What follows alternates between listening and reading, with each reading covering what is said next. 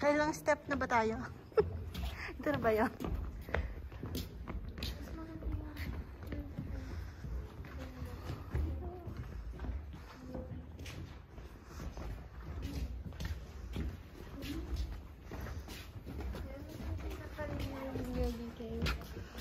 Sa susunod.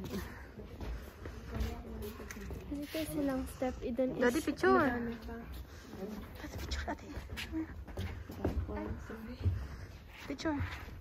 Yan, kayong dalawa, kantat lang. Ate, Julia, Ju- Julia. Come here, baby.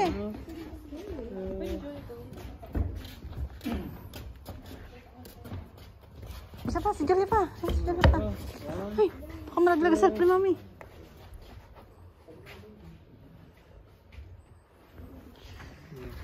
Nine, four. Hoy, ate, ate, Julia, come here. Tayo up, up. Ate, come here. Ate, So where we just entered in from wasn't actually the original entrance into the cave. Can anyone give a guess whereabouts in this uh, chamber where the original entrance was? Should be up there. Back here? Not quite. Any other guesses? Ano yun, Down there? No. If we have a look above us, down here we have a hole. So we call this one our solution pipe, but in the 1900s it was known as the wind hole. So you might have noticed that uh, coming through those first um, metal gates, that there was quite a bit of wind, and that's the cave breathing. So that hence why it's making all that wind come out of our hole here. That's how they could discover it.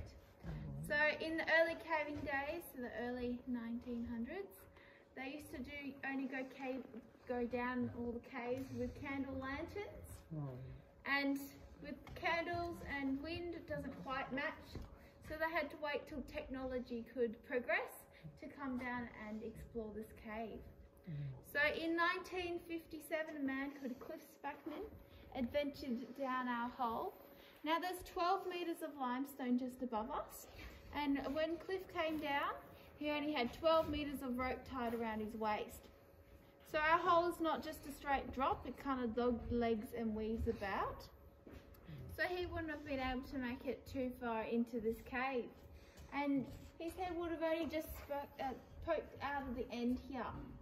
And because their torch is not as half as great as the ones that we've got today, he would have roughly seen about seven meters of this giant chamber. It was absolutely amazing what he found. Well, anyway, our solution pipe was created by our tree roots.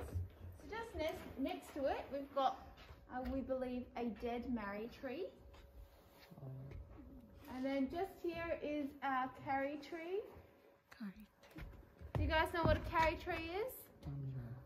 No, so you, you'll see as you drive along down here, the really tall, white, silvery barked uh, trees, they are our karri ones. They're really straight, like more straight and very large trunks.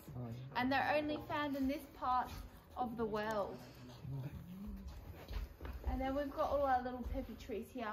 So once upon a time there was a tree root growing down and then the tree died and then over time it um, degraded away leaving a small hole and then due to erosion from like wind, rain, animals, the hole just got bigger and bigger.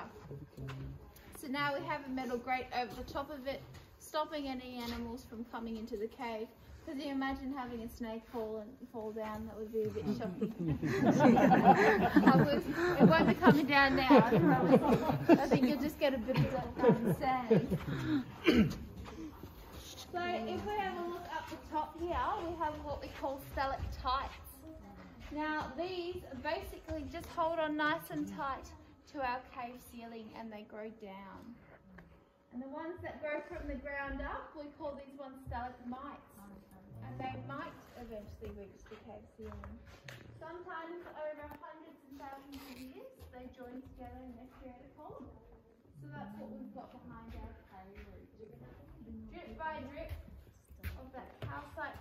leaving a microscopic layer. If we just take a look behind us over here, we have another formation. They're really thin ones. Do you all see them? Yep. So we call these ones straws, and they're just like drinking straws. They are hollow inside, uh, but these ones are very, very thin and fragile. So I probably wouldn't want to have my iced coffee with them, because no doubt they would snap. The longest one we've got there is roughly around 5.43 metres long, which is actually our longest straw that we